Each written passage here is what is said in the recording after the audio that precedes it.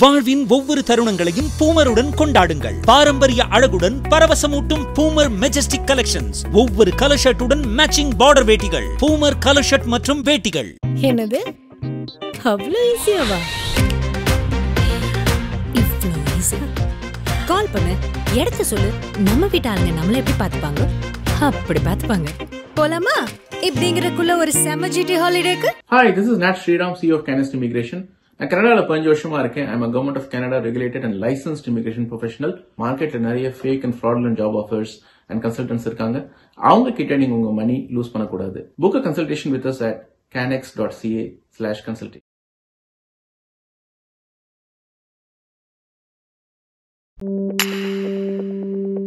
Chai with Chitra.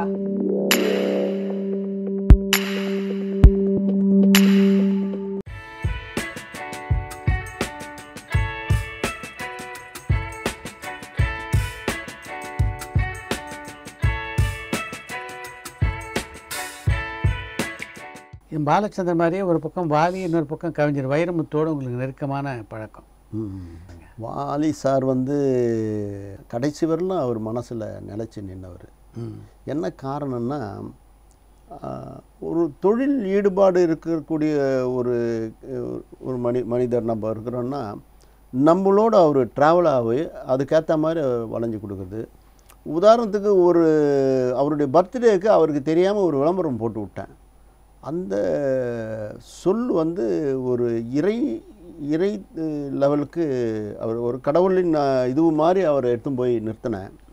அவர் கூப்பிட்டு என்கிட்ட சொன்னார் இனிமேல் பட்டு உன் பாட்டுக்கு ஒரு பைசா வாங்க மாட்டேன். இது சத்தியான்ட்டு கடைசியில் பாட்டுக்கு காசே வாங்க மாட்டார். அப்படியா? ஆமாம் காசே வாங்கவே மாட்டார். அது நான் எவ்வளோ தூரம் சொன்னால் கூட நான் சொன்ன யோ எனக்கு என்ன என்னை ரொம்ப என்னை ரொம்ப கவர்ந்த ஒரு விளம்பரம்யா ம். ஆயிரம் பேர் பண்ணலாயா நீ கொடுத்த விளம்பரம் நீ கொடுத்த வாசகம் அப்படின்னு ரொம்ப பெருமையாக சொல்லி அவங்களும் பெருமையாக சொல்லி அவர் வாங்க மாட்டேன்ட்டார். ஆனாலும் இப்போ சொல்கிறேன் நான் ஓ- வச்சுட்டு ஓடியான்ட்ட ஒரு நாள் ஒரு பேமெண்ட்டை ஓ வேணாயா வேணாயான்னு சொல்லி வச்சுட்டு வந்துட்டேன். அந்த மாதிரி ஒரு இது. அதே நேரத்தில் வந்து அவருடைய அவருடைய முதல் வார்த்தையை நான் சொன்னேன்ல இந்த அபி- அபிராமி உமா மகேஸ்வரியில் எழுதி வச்சு சினிமாவில் ஒரு கலை கலக்குவான்னார் இல்லையா? இன்னைய தேதி வரலும் இந்த சினிமாவில் நம்ம நின்று நிலைத்து நீடிக்கிறோமே இதுவே அவருடைய ஆசீர்வாதம் தானே? அது அவருடைய ஆசீர்வாதம். அதே மாதிரி வைரமுத்து சாரி வந்து நம்ம சொல்ல முடியாது. ஏன்னா கிழக்கு சீமையிலும் போது எல்லாருக்கும் நான் பேமெண்ட் கொடுத்தேன் இல்லையா? இப்போது வைரமுத்து சார் வீட்டுக்கு போயிட்டு ஒரு சூட் கேஸில் ஒரு 50000 ரூபா போட்டு அவர் கையில் கொடுக்குறேன் அப்போது அவர் வந்து டிஃபன் கொடுத்து அவர் சொல்கிறாரு இந்த மாதிரி இதுவரையிலும் நான் இயக்குனர் படத்துக்கு அந்த பாரதி ராஜா படத்துக்கு நான் காசே வாங்கினதில்லை. இதுவரையிலும் எழுதின பாட்டத்துக்கெல்லாம் சேர்த்து மொத்தமாக கொடுத்துட்டேயா? நீ ஒரு குட்டி தேவர்னார். அவர் என்ன? குட்டி தேவர்னார். இந்த ஒரு அளவிடை இருக்குது சின்ன சின்ன நெருடல் எனக்கு அவருக்கு நேர்ந்திருக்குது. அப்படியா? ஆமாம் அது அது ஒரு கபாலி ரிலீஸுக்கு ரிலீஸ் ஆகுது ரிலீஸ் கபாலியின் தோல்வின்னு சொன்னார். அது மட்டும்தான் எனக்கு சின்ன ஊண்டு. எதனால்? அது ஏன் சொன்னார்னு எனக்கு தெரியல.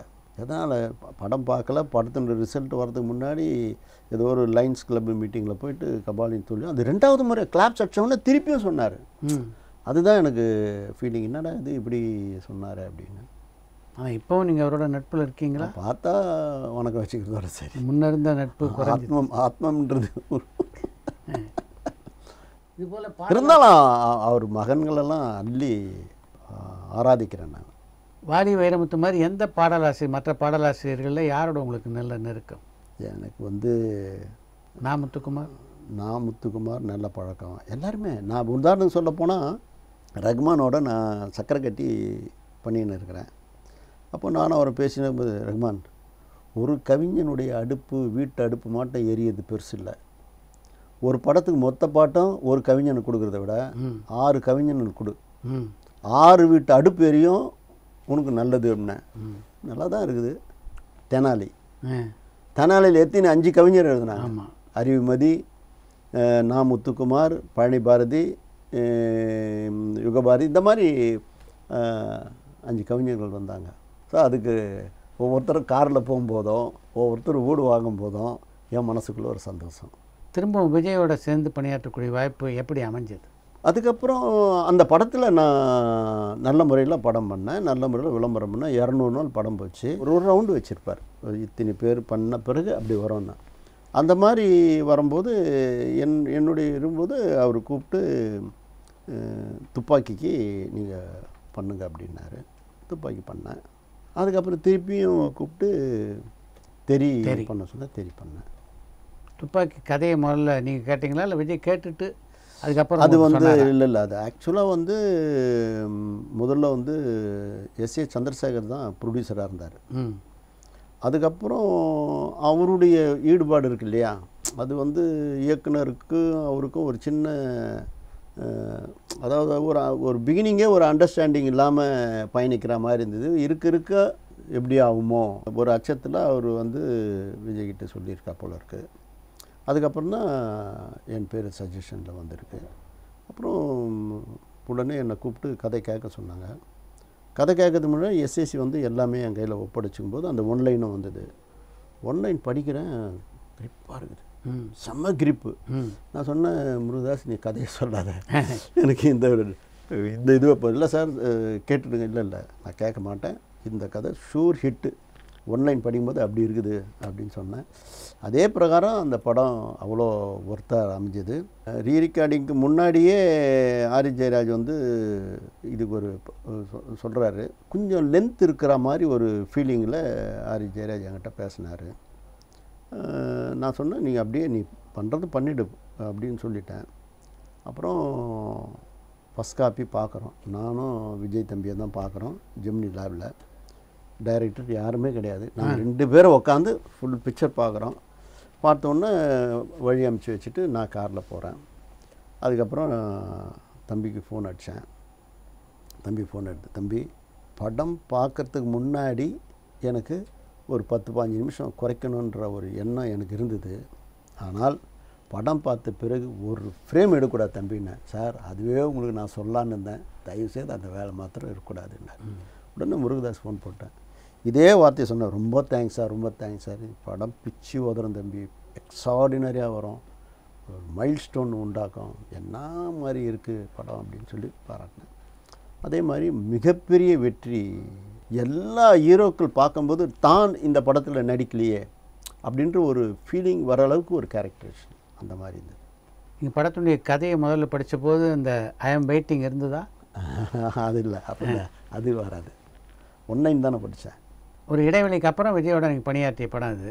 கம்ப்ளீட்டாக எல்லாமே சேஞ்சு தானே. அதாவது பழகும் தன்மை வந்து எந்த விதத்துலையும் ஆஸ் இட் இஸ் அதே தம்பி தான். அதே இன்றைக்கி பார்த்தாலும் அதே மதிப்பு மரியாதை டெடிகேஷன் கேரக்டரேஷன் வந்து அதில் இருந்த ஒரு ஜாலிக்கும் இதில் இருக்கக்கூடிய ஒரு ஒரு இது வந்து ஒரு தேசத்தை காப்பாற்றுறதுக்குண்டான ஒரு போராளியாக வந்தது. அது வந்து ஒரு ஜாலியாக என்டர்டெயின்மெண்ட் ஒரு ஒரு காதல் ஒரு லவ் ஒரு ஜாலி அப்படி போச்சு. அது இதுவும் ஒப்பிட முடியாது. அது ஒரு ஜானர் இது ஒரு ஜானர் நீங்கள் தெரியத்தீங்கன்னா கூட ஒரு கடமை தவறாத ஒரு போலீஸ் ஆஃபீஸர் அதில் வரக்கூடிய ஒரு கேரக்டரேஷன் அதை எப்படி சால்வ் பண்ணுறது எப்படி முறியடிக்கிறாரு எப்படி ட்ரீட் கொடுக்குறாரு வில்லனுக்கு எப்படிப்பட்ட ட்ரீட்மெண்ட் கொடுக்குறாருன்றதெல்லாம் வந்து ஒரு ஹீரோயிசத்தினுடைய உச்சம். நீங்கள் பலதரப்பட்ட இசையமைப்பாளர்களோடு பணியாற்றி இருந்தாலும் ஏஆர் ரஹ்மான் இளையராஜா ரெண்டு பேரும் உங்களுக்கு கொஞ்சம் ஸ்பெஷல் அது இப்போ கூட இப்போ விடுதலை சாங் கேட்டுட்டு அவருக்கு நான் ஃபோன் பண்ணேன். அப்புறம் ரீ ரெக்கார்டிங் படம் ஃபஸ்ட் காப்பி இது ரோகிணி தேட்டில் படம் பார்க்குற ஆடியன்ஸோட எங்கெங்கே ஜனங்க கிளாப்ஸ் பண்ணுறதுன்னா அவருக்கு ஃபோன் பண்ணி ஆராதித்தேன். இந்த மாதிரி ஒரு ஒரு ஒரு இங்கிலீஷ் பிக்சரில் இருக்கிற மாதிரி ஒரு ஏரியல் ஷாட் ஒரு பேங்காக கில்லப் ஆகும். அதுக்கு ஒரு மியூசிக் பண்ணியிருக்குது. என்ன பண்ணியிருக்கீங்க? ஒரு ஹாலிவுட் மாதிரி படம் பண்ணுற மாதிரி இருந்தது சந்தோஷமாக அவன் சூரிய இது அவன் ஓடியாருவார் ஓடியார ஓடியார் ஓடியார்ந்து ஓடியாந்து ஒரு தண்ணி கிளாஸ் எடுத்து அந்த அலுமினியம் டம்ளர் குடிக்கும் போகும்போது அங்கே ஒரு அதாவது தாகத்துக்கு ஒரு மியூசிக் போட்டிங்க. என்ன மியூசிக் அது அப்படின்னேன் அந்த மாதிரி ஒரு ஒரு இடமா நான் சொல்லி சொன்னேன். அந்த வளையல் தொடும்போது அந்த சாங் ஒன்று ஆரம்பிக்கும் போது தேட்டரில் கிளாப்ஸ் பண்ணுறான் அப்படின்னு. அது நிறைய அவங்க அதாவது அவர் சில கோரிக்கைகளை என்கிட்ட சொல்லும்போது அதை நான் செய்யும்போது அதனால் எனக்கு சில பாதிப்புகளும் அவர் நல்ல மனிதர் நல்லதுக்கு தான் சொன்னார் கெட்டதுக்கு சொல்ல. அவர் ஒருத்தர் வாழ்க்கைக்கு உதவணும்னு சொன்னார். அதில் சின்ன சின்ன சங்கடங்கள்லாம் வந்தது. ஹெச்எம்இயில் வந்து அவருக்காக நாங்கள் பேசி பெரிய தொகையை வாங்கி அவரே வந்து சங்கத்துக்கு கொடுத்தாரு. தயாரிப்பாளர்களுக்கு யார் யாருக்கு பெண்டிங் இருக்குதோ அதெல்லாம் பணம் கொடுத்தார் லட்சக்கணக்கில் வாரி கொடுத்தாரு. அப்போ தான் அவர் அவரை வச்சு தான் நான் வந்து நான் தலைவராக இருக்கும்போது அன்னதான திட்டத்தை துவக்கி பசியில் வரக்கூடிய இன்றைக்கி இருக்கிற தயாரிப்பாளர்கள் எவ்வளோ கஷ்டப்படுறாங்கன்னு நம்மளுக்கு தெரியும் இல்லையா? இன்றைக்கி கூட ஒரு பெரிய வருமான வரித்துறையில் போய் பார்த்து பேசிட்டு வரும்போது கூட தயாரிப்பாளர்களுடைய இன்னல்களை சொல்லிட்டு வந்தேன்.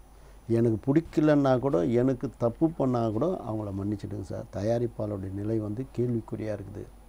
அவங்களால நிச்சயமாக இந்த மாதிரி பேமெண்ட்லாம் கட்ட முடியலன்னா அவங்கள ஏன் கட்ட முடியலன்னு ஆராய்ஞ்சு பாருங்கள் காசை வச்சுன்னு ஏமாத்துறவங்கள நீங்கள் தண்டிக்கலாம்.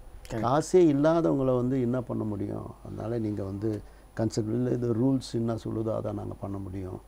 அதுலேயும் நாங்கள் மேக்ஸிமம் கன்சிடர் பண்ணி டைம் லிமிட்லாம் விட அந்த மாதிரி டைம் லிமிட் கொடுத்து ஏதாவது ஒரு வழியில் காப்பாற்றி விடுங்க சார் அப்படின்னு சொல்லிட்டு நான் நம்ம இண்டஸ்ட்ரி இன்றைக்கி இருக்கிற ப்ரொடியூசருடைய நிலைமை அப்படி தான் இருக்குது. பல தயாரிப்பாளர்கள் சாப்பாட்டு நேரத்துக்கு சாப்பிட்டு போவாங்க.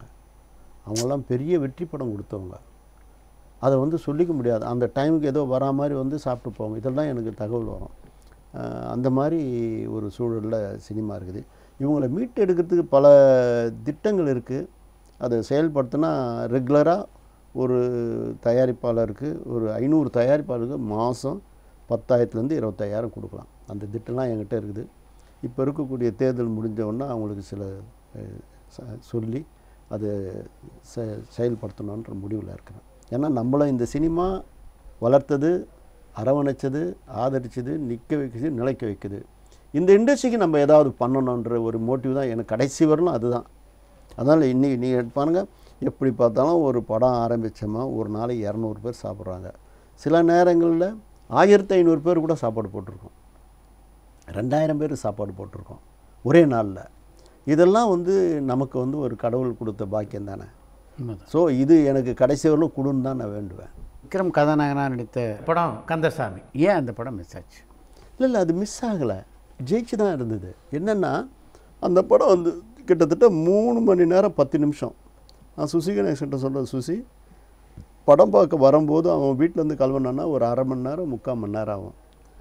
வீட்டுக்கு திருப்பி போனால் அரை மணி நேரம் முக்கால் மணி நேரம். தேட்டரில் ஒரு பதினஞ்சு இருபது நிமிஷம் இன்டர்வியூ இருக்குது நீ கொடுக்குற மூணு ஹவர் பத்து நிமிஷம் சேர்த்து பார்த்தும்போது கிட்டத்தட்ட ஒரு அஞ்சு அஞ்சரை மணி நேரம் செலவு பண்ண வேண்டியதாக இருக்குது.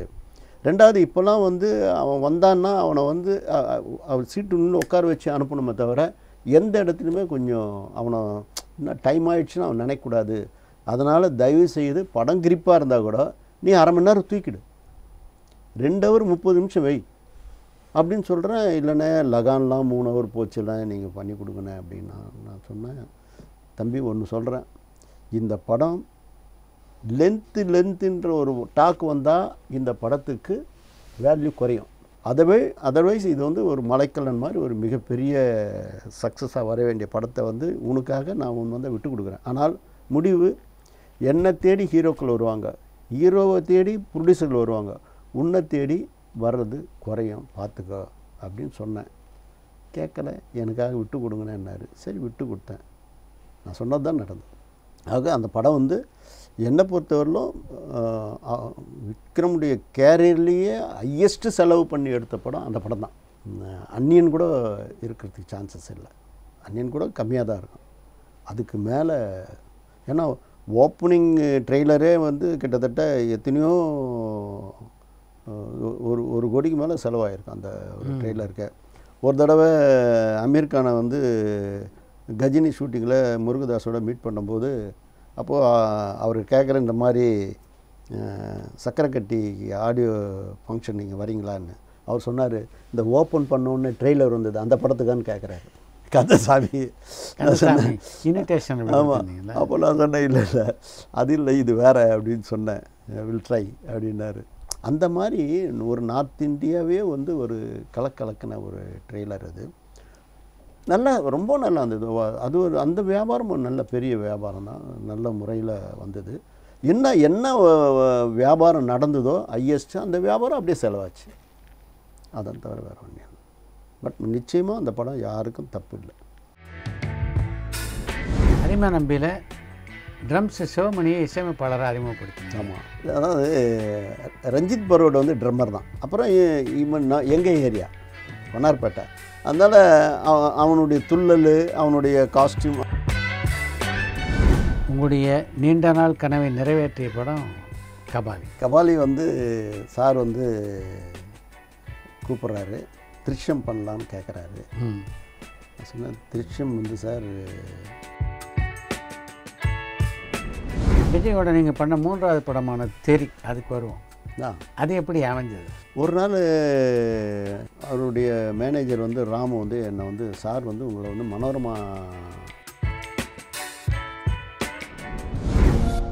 பரபரப்பான சினிமா செய்திகள் நட்சத்திரங்களின் பேட்டிகள் சினிமா வரலாறு ஆகியவற்றை பார்க்கவும் படிக்கவும் உங்களுக்கான இணையதளம் tour and talkies dot co